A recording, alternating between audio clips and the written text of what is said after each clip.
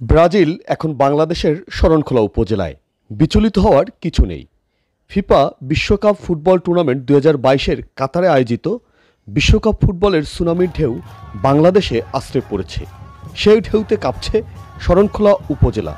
শরণখোলা উপজেলার Brazil fan ক্লাবের আয়োজনে পূর্ব নির্ধারিত সময়সূচি অনুযায়ী ব্রাজিল দলের সমর্থনে বিশাল আনন্দ মিছিলের আয়োজন করা হয়।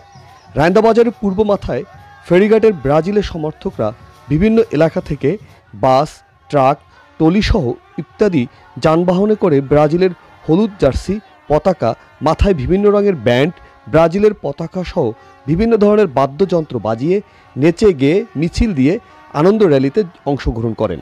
তখন ফেরিঘাট এলাকায় বিশাল জায়গা জুড়ে জনসমুদ্রে পরিণত হয়। সমগ্র এলাকা হলুদে হলুদে অসম্ভব সৌন্দর্যে পরিণত হয়।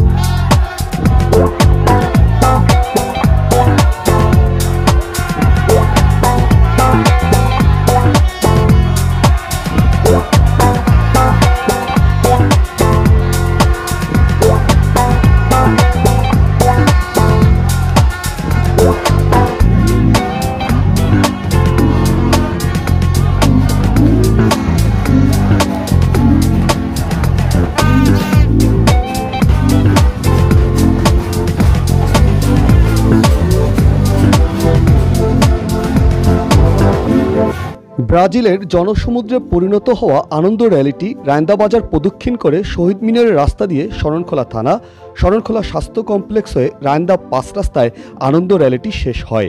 শরণখোলায় স্মরণীয় হয়ে থাকার মতন ব্রাজিলের জনসমুদ্রে রূপ নেওয়া র্যালিটি দেখে শরণখোলার মানুষ আশ্চর্য হয়ে যান। শরণখোলায় বসবাসকারী মানুষরা বলেন, বিশ্বকাপ ফুটবল উপলক্ষে এত বড় ব্রাজিলের সমর্থনে শুভেচ্ছা মিছিল এর আগে দেখিনি। এই শুভেচ্ছা র্যালির মাধ্যমে বিশ্বকাপের আনন্দের ঢেউ এখন শরণখোলায় বোঝা যাচ্ছে।